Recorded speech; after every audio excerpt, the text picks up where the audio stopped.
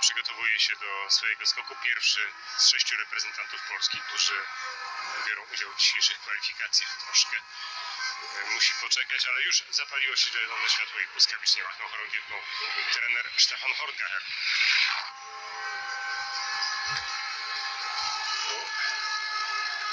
Po wyjściu z progu widzieliśmy znowu e, korekta sylwetki w locie. Nie wpłynęło to korzystnie na odległość. Wydaje się, że Maciej powinien awansować.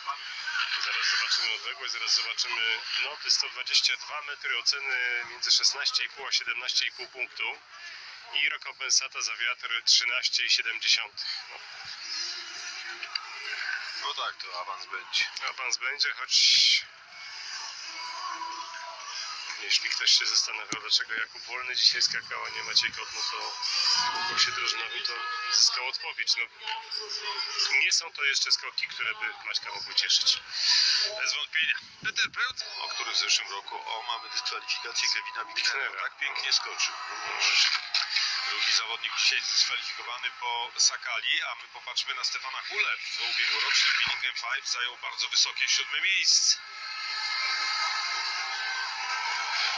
Dobrze skacze Stefan, bardzo ładnie, brawo.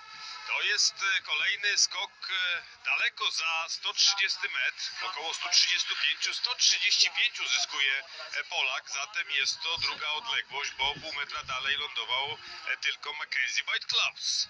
Polak miał nieco lepsze warunki, 30 metra na sekundę wiatru, a oceny od sędziów wszystkich 18-punktowe. Czyli podobnie jak Żyga Jelar, 54 punkty to są najwyższe na razie oceny i będzie Słoweńca wyprzedzał. To będzie druga lokata, 130, Nie trzecie. trzeci, 127,4. Najwyższa rekompensata dla Żygi Jelar. A my będziemy za chwilę oglądać trzeciego z reprezentantów Polski. Już jest na rozbiegu Kuba Wolny. No fenomenalne występy w konkursie drużynowym.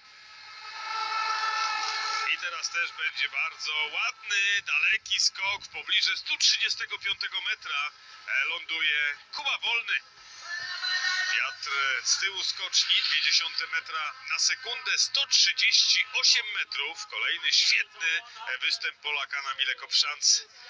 Oceny 18,5, dwie osiemnastki, dwie, jedna, siedemnastka. No a za wiatr dodane 6,5 punktu. Przypominam odległość 138 metrów. Niemiecki sędzia na wszelki wypadek dał 17 punktów, ale mm, był w takiej ocenie tego skoku odosobniony. Pozostali zawodnicy, sędziowie 18, 18,5. W pierwszej No i Kuba będzie. pierwszy, Pierwszy, pierwszy, tak. bo wprawdzie bliżej lądował niż Hej. Na długo jednak już zapłonęło zielone i zobaczymy jak daleko tym razem e, wyląduje Dawid Kubacki.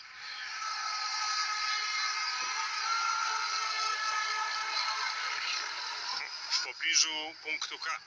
To nie jest skok na prowadzenie, to nie jest skok na e, dobrą pozycję wyjściową w całym cyklu. 128,5 metra.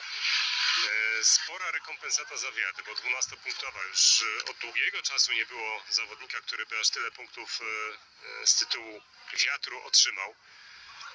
E, Ci, którzy skakali bezpośrednio przed nim, e, trafili na dużo lepsze warunki. No, Dawidowi te warunki nie sprzyjały. Nie udało się osiągnąć satysfakcjonującej odległości. Sędziowie po 17,5 średnio, co daje w tym momencie Polakowi miejsce. E, Podobnie jak Dawid w przyszłości tutaj na miejscu trzecim w jednym z konkursów, dziewiąty w cyklu Willingen 5 w poprzednim sezonie, znakomite skoki Piotrka w konkursie drużynowym.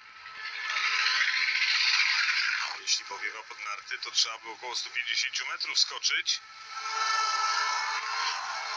Proszę No tak bardzo. daleko to nie, ale za rozmiar skoczni chyba tak, Piotrek. No brawo, kolejny bardzo dobry skok. Dwa udane w konkursie drużynowym, bardzo udany ten w kwalifikacjach. Dobra dyspozycja Piotra Żyły. 147 metrów to jest najdłuższy skok, prawda? Bo do tej pory to była Eisenbichlera 146. będzie miał odjęte punkty za wiatr. Minimalnie, minimalnie pod narty, 0,2 metra na sekundę. Dość dobre też noty. W czołowej trójce. Eisenbichlera chyba nie wyprzedzi, ale... E, no tak, będzie, będzie drugi? Drugi, tak. O 0,4 przed Zajcem. Ale bardzo ładny skok Piotra, brawo. Eisenbichler się uśmiechnął szeroko, no bo obronił to prowadzenie, ale e, jego występ i Piotra mogły się naprawdę bardzo podobać.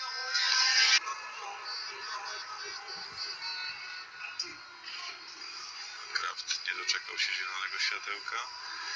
Chyba nie doczekał też Kamil.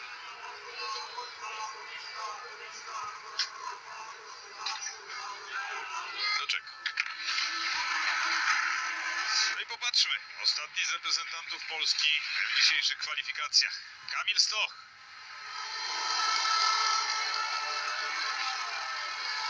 Pewno nie będzie zwycięzcą tych e, kwalifikacji, nie będzie pewnie w czołowej, e, w czołówce, ale, ale w warunkach takich, że miał nieznaczny wiatr z tyłu skoczni, uzyskuje 135 metrów. Dobrze oceniony skok, 4 noty 18,5, jedna e, dziewiętnastka.